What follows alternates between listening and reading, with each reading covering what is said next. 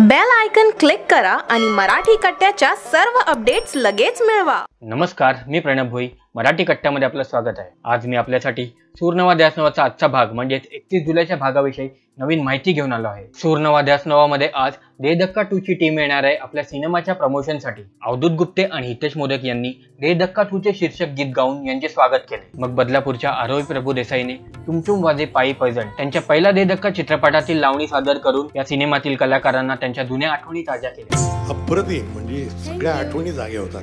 आणि काय गोड गायली आहे ती. गाणं छान सगळंच छान म्युझिक छान. अप्रतिम जसं शिवाजी दादांनी सांगितलं की आम्ही डायरेक्ट तिकडे दोन हजार आठ मध्येच गेलो. गाणं सुरू झालं आणि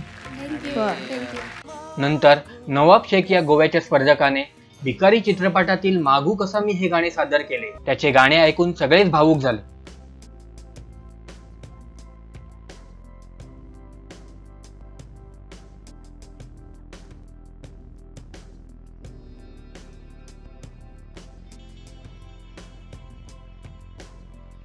हृदयस्पर्शी गायलात. अ, त्या ओळी माझी व्यथा ही समजावू कुणा? जर तुम्ही जी व्यथा समजवायचा प्रयत्न करत होता ती समजली आम्हाला. खूप खूप शुभेच्छा मग मुंबईच्या मंदार पिलवरकर यांनी महेश मांजरेकर यांच्या पांघरुण चित्रपटातील ही अनोखी गाठ कोणी बांधली हे गाणे सादर केले. त्यावर महेश मांजरेकर काय म्हणाले पहा. It is an exceptional song आणि तू खूप छान गायलास.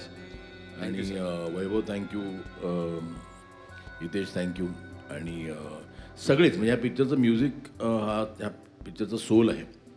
आणि प्रत्येकाने म्हणजे सगळ्याच म्युझिक डिरेक्टरनी या सिनेमाला एका वेगळ्या उंचीवर नेलं आणि मला बरं वाटतं की ते कुठे नॉमिनेट होत नाही म्युझिक कारण इतक्या जवळपास कुठलं म्युझिक येत नाही.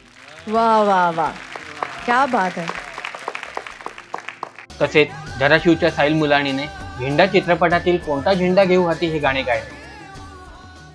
मला कौतुक वाटतं आणि मला इमोशनल किंवा नॉस्टॅल्जिक करतं ते म्हणजे अरविंद जगतापांचं लिहिणं. की तेव्हाही त्यांना कळलं होतं की असे शब्द लिहायचे की जे पुढचे वीस वर्ष कायम राहतील.